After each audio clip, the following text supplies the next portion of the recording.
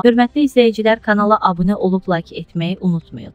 İstər pandemiyanın davam etdiyi dövrdə, istərsə də indi qəbul olunan hər bir qərarın fəsadsız olması onun nə dərəcədə elmi məntiqə istinad etməsindən asılıdır.